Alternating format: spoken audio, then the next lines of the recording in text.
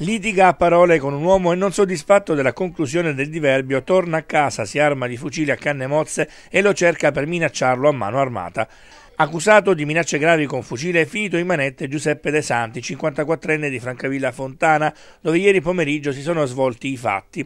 Teatro delle accuse la centralissima via Garibaldi nei pressi di un noto bar della città degli Imperiali.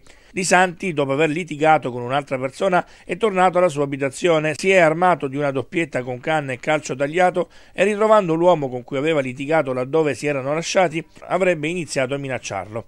Sono stati alcuni passanti a chiamare i carabinieri della compagnia di Francavilla Fontana al comando del capitano Nicola Maggio che sono arrivati subito sul posto anche se il 54enne armato si era ormai dato alla fuga.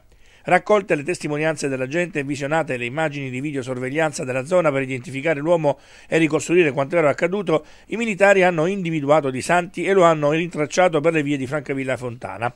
Al momento dell'arresto non aveva con sé il fucile, l'arma è stata poi rinvenuta dai militari avvolta in una busta e gettata tra il marciapiede di un'autovettura proprio nei pressi del bar Teatro del Litigio. Di Santi, già noto alle forze dell'ordine, è stato arrestato per minacce gravi con fucile e dopo le formalità di rito per lui sono stati disposti gli arresti domiciliari. I carabinieri hanno anche sequestrato 16 cartucce del fucile a canne mozze.